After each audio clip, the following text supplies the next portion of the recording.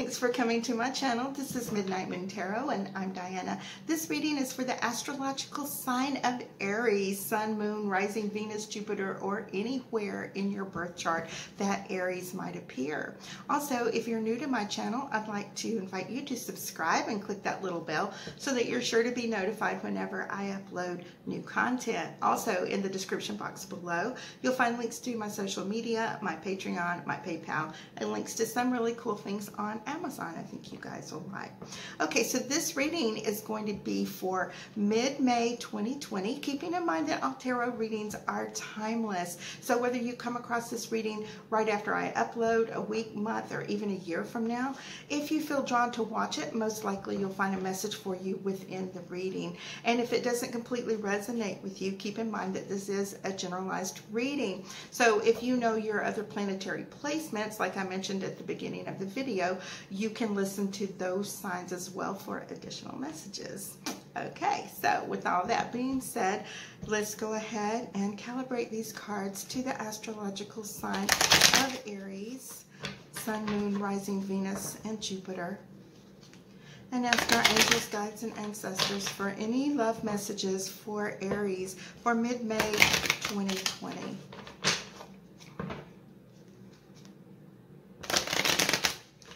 Spirit, what love messages do you have for Aries for mid-May 2020? Spirit, what love messages do you have for Aries for mid-May 2020?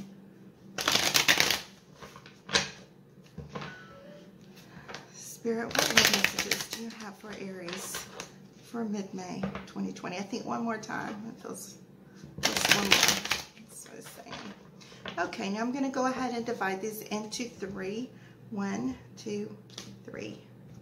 All right, the card on the bottom of the deck is the Knight of Pentacles. This is going to be the overall energy for this reading. So as we go through the spread, I'm going to show you how this Knight of Pentacles is going to relate to the other cards that come up. Now, the Knight of Pentacles is all about uh, being slow and steady, sure and steady, uh, you know, like um, the tortoise and the hare, you know, taking your time, making sure, not making any sudden uh, decisions or rash impulses, just being sure of yourself and keeping that focus on what it is you actually want and not being distracted by other things that are going on around you. Okay, hold on just one second.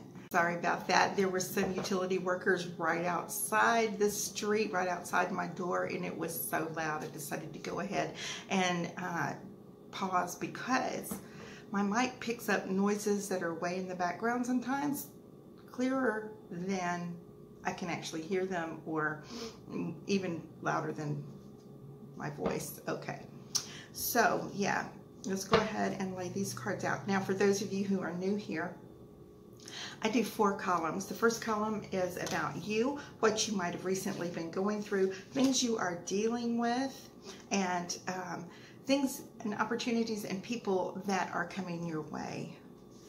All right. The second column is the same thing, only it's for your beloved, your intended, your twin flame, soulmate, karmic partner, divine counterpart. This could be somebody that you just met. It might actually be an ex that you still feel those very deep soul ties with and want to reconcile with. But however, generally it's the person you are thinking of first thing when you wake up in the morning and the last person you think about when you fall asleep at night. All right. And the third column is obstacles, challenges, fears, anxieties, that type of things. Not really anything that's going on. It's just about, uh, you know, what we're scared of mostly that's going to happen or don't want to happen, that sort of thing. And the last column is outcome. Now, I've just laid out two cards in each of the four rows. That's eight cards. I'm going to do this two more times for a grand total of 24 cards. Okay, by the time we get to the end of the reading after 24 cards, generally we have a pretty good idea about what's going on. This right here kind of says it all right now. You may have been dealing with uh, someone that's narcissistic. Uh, they could, you could be in a toxic relationship.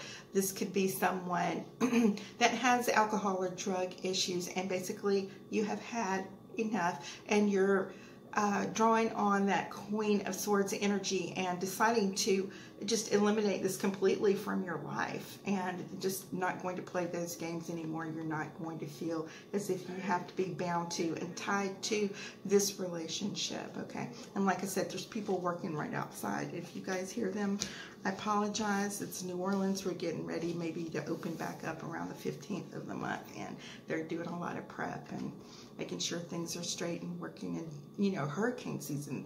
Uh, we got this notification yesterday. This is hurricane prep week, so they're making sure all the drains and gutters and sewers are clean. All right, so yeah, there's going to be some noise.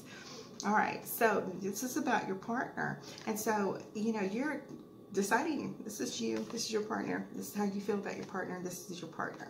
So this partner is uh, when when you decide that you're going to cut them out of your life completely, and you know, despite however much you may be thrilled by the fact that uh, you get this dopamine rush because they're constantly baiting you with, um, it's like.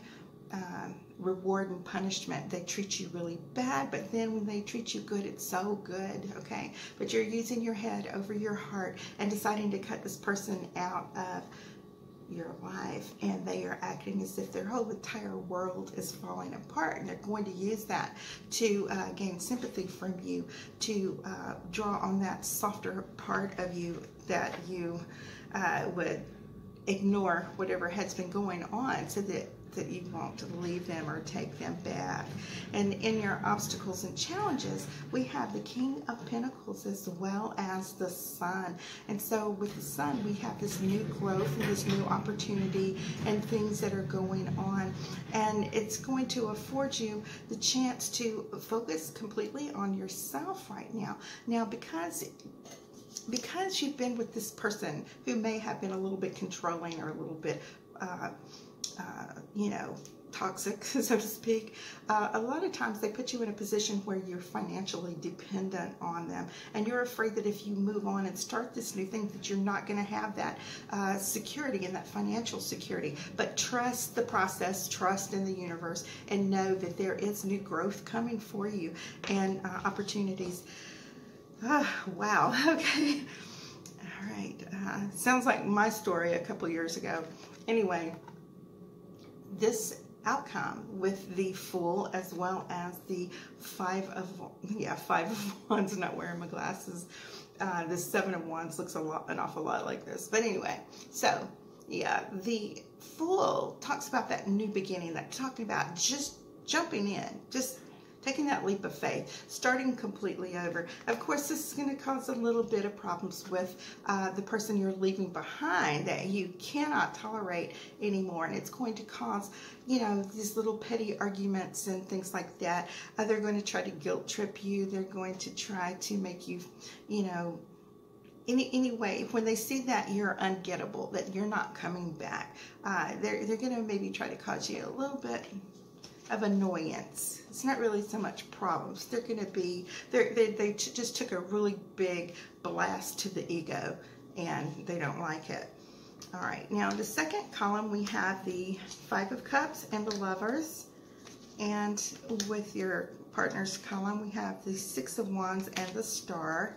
That's so amazing to me that every time in one of these readings, no matter how much I shuffle, when that tower shows up within a few cards difference, that star comes up, which is always is in the in the major arcana, it's the card that comes after the tower. So the tower is complete destruction and star is brand new complete beginning. All right, now in your obstacles and challenges, we have the Two of Swords as well as the Ace of Wands. All right, let's see where this is going. And in your outcome, we have the Six of Pentacles and the Nine of Cups. All right, guys, um, I don't, that was in reverse. I don't do reversals because that's more of a modern thing. It's not something that was traditionally done when uh, tarot was first in use, okay? So um, I just, I read more traditional and I don't do reversals, okay? Uh, there's there's plenty of meanings in the cards without doing having to do reversals or anything. Uh, and I don't think, you know, if it was intended that they were to do that, it would have been done that originally. Okay. All right. So with you, we have this this Five of Cups, and we have the Lovers. Okay, so you're you've left him. You're leaving this crap behind. You're leaving this devil behind. You're leaving this toxic person that has hurt you and uh, emotionally uh, driven you to your end, basically, that to the point that you had to leave the relationship. But at the same time, you miss it. Okay, but never fear because there is love waiting for you, and you have the lovers in combination with this. Okay, you have this brand new opportunity for love. Remember, you had the Fool earlier, which talked about just jumping right on into the future you know, just knowing that everything is going to be fine, especially the full in combination with the sun that you had, you are going to find love again, love that is actually worthy of your time and attention. So don't cry over spilled milk. You don't know what was in these cups here. It could have been really poison that you didn't need to be partaking of, okay? Be grateful that these cups have spilled and receive your blessings that are coming in. Now, your partner, of course, being the egotists that they are, when they see that you have moved on and have started this brand new beginning, uh, they're going to go around and act like, oh, yeah, I got rid of her or him I got, you know, I'm, I'm better off without them. Their ego is really injured and they want to come off like they're the person that dumped you instead of you dumping them. But you know what? Who really cares about that because you're gone and you've got this brand new opportunities that are coming your way and you're the one that is going to come out on top and they're the ones that are left behind. So, All right, so now again, this is a lot like that Queen of Swords and the King of Swords. You're making that decision. You've had several twos come up in your reading so far. Now, when you have this Two of Swords, okay, that talks about coming to a truce. It comes like leaving it completely behind. It's like, let's not uh, worry about, um, you know, what my heart is telling me because I can see intellectually what this person was doing to me and the games they were playing on me and I'm just gonna you know completely shut that out. And uh, regardless of the fact of whether you were attracted to them they're going to try to use uh, sex and sexuality and passion to draw you back in because of course the roll of the hay always works right and so they know that, and they're going to try that with you to get you hooked back in again because they cannot stand the fact that you are moving on and you are doing so well without them. All right, so outcome Six of Pentacles, Nine of Cups. All right, so you have abandoned the situation where it was completely one-sided where you're the one that's doing all the giving in the relationship and they're the one doing all the taking you had spent the entire relationship trying to please this person just so that you could get uh, that that affection and that attention and that emotion they give you uh, occasionally. Sometimes you would find yourself giving and giving and giving, and they would seem very ungrateful or they didn't even care or even notice or didn't even want to be bothered with it. But now, okay, now you have your nine cups full. Of course, you need your you know you need your 10th cup uh, for this little cycle here to be completed and you've just you know you have this new love that's going to be coming into your uh, into your life, into your sphere, into your uh, opportunities, okay? So let's go ahead and see what is going on here. So we got the Queen of Cups as well as the Three of Pentacles. Your partner has the Wheel of Fortune and the Ace of Swords. In your obstacles and challenges, we have the Four of Cups and we have the High Priestess. Now that happens a lot of times after you leave somebody who has had you in that little cycle of ups and downs, highs and lows, um, you know, where they're completely driving you crazy one minute and hurting your feelings and emotionally abusing you, and the next minute they adore you and you are the perfect person in the world to them. You get addicted to that dopamine, okay? You have to be really careful with that. All right, and your final outcome, we have the Four of Swords and we have the moon. Now I'm going to draw a couple of extra cards uh, when we're done doing this little section, uh, just because it's ending with that, all right? All right, so this new person coming into your life may very possibly be a water sign, Cancer, Pisces, or Scorpio. Someone that can, um, you know, cool your fires just a little bit. Someone that can nourish you. Someone that gives you that loving uh, compassion and attention that you deserve. Somebody that actually looks up to you and admires you, and somebody that you can be proud of and that they can be proud of you in return.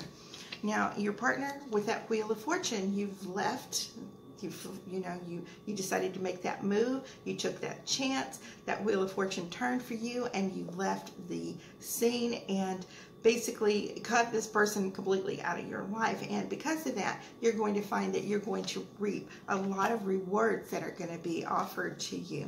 Now, we were just talking, I was just talking about this, not we, but I'm talking to y'all about it. But anyway, yeah, so you, you have this love, this, this, uh, the Queen of Cups, okay? Now, it can be a male or a female. There's no gender in the tarot. It's all about that energy that the Queen of Cups represents, okay? But don't don't fret, okay? Because uh, addiction is horrible, whether it's drugs, alcohol, uh, or another person even, you will find that normal feels boring to you, and that's not what you want. You want somebody, um, you, you know, that gives you that rush, but you know, there was a there was a big big price to pay for that and you were pretty miserable about it and this is giving you the opportunity to think about the dark and the, the dark and the light and the good and the evil and you know everything is not always black and white. There's a lot of gray involved. And that gray area is that medium where you need to be, where, you know, things are, are more balanced and not so crazy all the time so that you're constantly trying, trying, trying to chase that high and that rush that that person afforded you because the other side of that is just no good at all. All right, now this tells me that you're going to find out, find out some things that maybe you didn't know before, and it's going to enlighten you a little bit about how fortunate you are to have left this. And I'm reading it as fortunate because you did have that Wheel of Fortune come up uh, in regards to this person uh, that you've been in a relationship with. Even if you've been separated from them for a while, this is the time that you're going to make that actual decision that, you know, I'm not having any more of this. And you've taken that time, much like that high priestess that you just had, and you're going to consider all these things. You're going to take a little bit of time out to do that healing that you need in order to move on with your life. And of course, you know, I told you that I would relate this to you. Take your time jumping right back into a relationship. There's going to be new love and new opportunity coming your way. But, you know, you've been through a lot. Enjoy yourself. Um, become more used to what's normal and not that chaotic mess that was happening. So I just generally I just reach in and grab a card. So we have the Knight of Wands, and this is so Aries if there ever was a card. This is about you know deciding that you're making that decision. You, this assures me that you are making a good decision about um, what what you need to do with your life, and you're you're going and even though there may have been some uncertain moments about uh, you know how you would get by you're going to go ahead and do it. All right. And be successful because you're an Aries, right? And the second card, we've got the Magician. Yay, that is an awesome card to end this reading on. So the Magician tells me that, yes, just like Dorothy at the end of The Wizard of Oz, when she tells her to click her heels and, and she's like, oh, you know, you've always had it in you. You could always do this anytime you wanted. And this is you drawing on everything that you have inside of you and manifesting the life that you want. You want uh, real and true love, okay? You, things are changing for you. You have great opportunity that's coming your way, all right? And you have the ability to make it happen. And your heart is very full of love to give this new person that's coming in. And the star is such a beautiful card for this reading as well as that fool coming in telling me that you know these hard times are over. These emotionally hard times are over for you. And you know you you are strong and you've made that decision. You are that knight of wands and you're going to go on and um, you know, make a success out of your new life without this person. Okay? All right, so Aries, that was your reading for mid-May 2020, and I want y'all to go look in the community tab, please. I'm doing a giveaway for a Mighty Aphrodite love drawing kit, okay? It's like crystals and oils and, you know, pretty little things like that, um, different petals, stuff like that that you can use if you don't have love in your life or current love or you want to enhance the love that's in your life at the moment okay? And you just use this. It's not to manipulate anybody. It's to draw love into your life okay? Not a particular person all right? Okay guys i love you so much and i thank you for all of your comments likes shares subscribes it all means so very much to me. And to those of you who have so very generously donated to my channel, especially right now while the economy is so screwed up, I really know how much that means um, to you to be able to do that and how much it means to me to be able to be blessed and receive that from you. All right, guys. Love you. Bye-bye.